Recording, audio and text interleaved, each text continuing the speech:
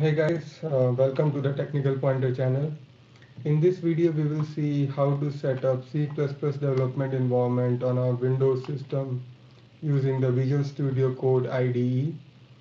Uh, we will explore various options you have in terms of the build environment.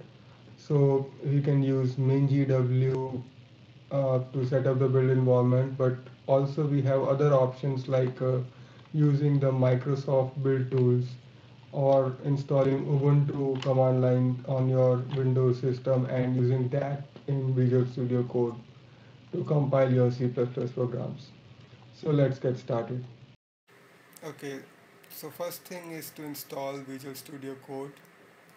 Uh, you can download from the official website and follow along with the instructions. Uh, a very easy. so once you do that, you have uh, Visual Studio Code installed and running. The first thing we will need is the C++ extension. So you go to this extensions tab and search for C++ and uh, get the official Microsoft C++ extension. Now this will provide you support for uh, IntelliSense and debugging although this is not a build tool or uh, it will not compile the code for you so for that uh, we have to install some other things. But install and enable this extension which is pretty useful. Also if you look at uh, the home page for this extension there are different links here uh, which have all the steps to install the build tools let us go to the first one Microsoft C++ compiler MSVC on Windows. Uh, with this we can install the uh, build tools which come with uh, say Microsoft Visual Studio. So uh, some steps mentioned here. First is to install the build tools separately. Um, so you can search for Visual um, C++ build tools um, Microsoft C++ build tools and you can download the build tools here. These will be standalone uh, tools MSVC compiler libraries and scripts included uh, which is enough for uh, compiling C++ but what you can also do is you can uh, install free versions of Microsoft Visual Studio as well um, so there are different uh, versions for Visual Studio. Some of them are free like the community edition. You can install this and this will automatically install the build tools for you. Um, so you can make a choice here but for us because we are using uh, Visual Studio Code as the IDE just installing the build tools will be sufficient. After you do that uh, let's see how to write your first hello world program. So the first thing you need to do is check if the build tools are installed or not. And for that you can write developer command prompt in the search and you can get this app. Press enter and this command prompt is open for developer command tools. Uh, I've installed Visual Studio 2017 on my system and so I'm getting uh, this. The next step is uh, make a folder.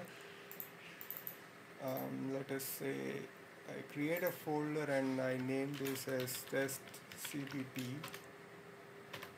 now why this folder is necessary is because Visual Studio Code will set up the C++ uh, environment variables and all the paths for a particular folder. So making this folder is necessary. And then in the developer command prompt we need to go to this folder. Okay so I can go to this folder and then what I need to do is I need to write code and a dot and press enter what that will do is it will open Visual Studio Code for that folder. Now I will go ahead and close the earlier window. Okay so this is open. Uh, still it if you open the folder it has done nothing so we need to do something here. So let us create a file. We'll go to file new file. Um, first let us save this. Uh, in the same folder I will say hello world dot cpp okay it has created a cpp file. Now let us write a very simple um, C++ program. So you see these uh, auto completion you are getting is uh, all coming from the C++ extension we just installed. So uh, I'll just write a very simple uh, hello world program here.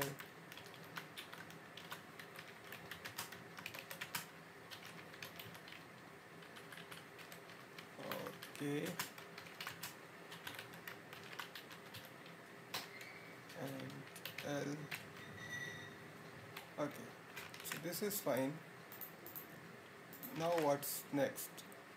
So if you go to this uh, page again um, so we have installed the tools we have verified if the tools are installed. Uh, we have created a folder uh, with where we want to set up the environment. We have added a file. Now we need to build this. To build this what we need to do is uh, we need to configure two files. Uh, one is task.json and the other is launch.json so this one will be for debugging launch.json for building it will be task.json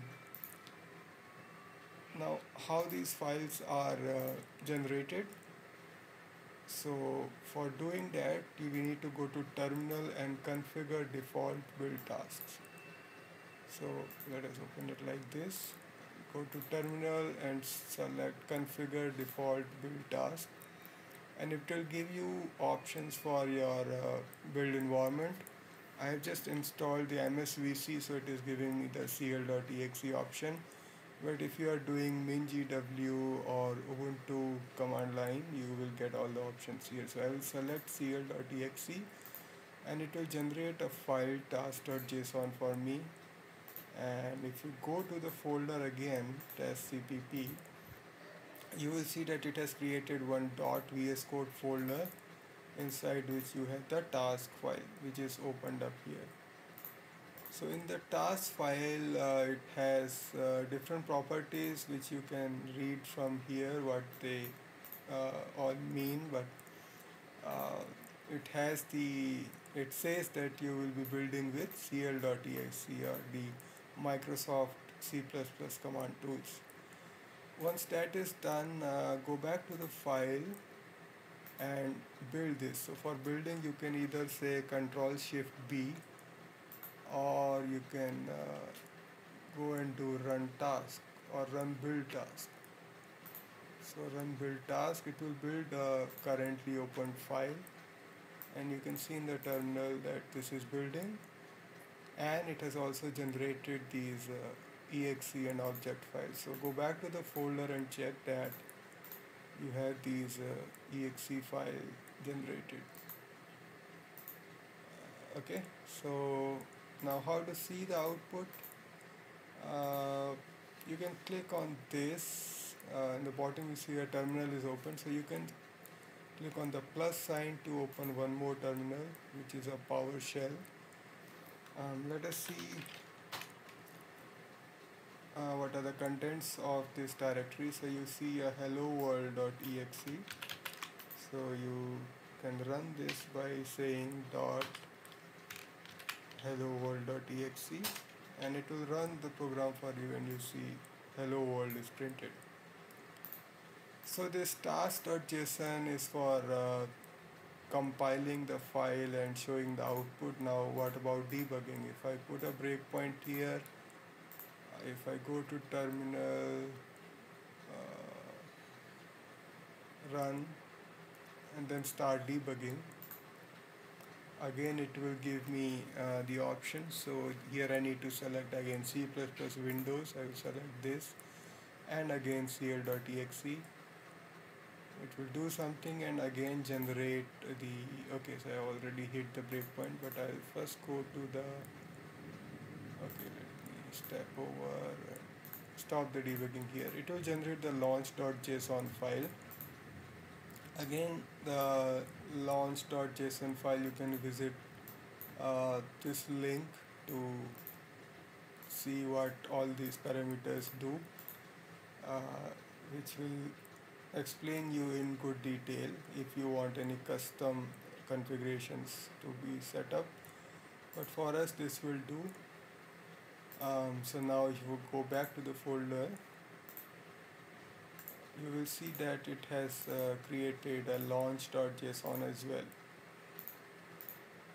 So uh, now after putting a breakpoint you can say F5 or again go to run and start debugging F5 and you will see it will run the code and here it is the breakpoint uh, in the panel you can see the call stack um, and local variables. I don't have any local variable here.